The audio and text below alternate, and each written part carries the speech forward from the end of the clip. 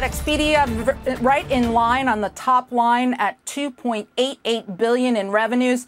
A big beat on the bottom line, and this appears to be just the calculations that analysts may have uh, omitted when it comes to the tax impact. The company reporting $1.38 adjusted. The estimate had been for 89 cents. But when you take a look at the tax rate that they are paying, for the second quarter of 2018, it has fallen to 16% from 27% uh, a year ago. So that's where they're getting a big boost, particularly when it comes to the EBITDA at $463 million compared to an estimate of about 380 from analysts. Among the highlights, uh, they saw a 12% uh, increase in gross bookings, uh, north of 12%. Uh, domestic gross bookings up 10%.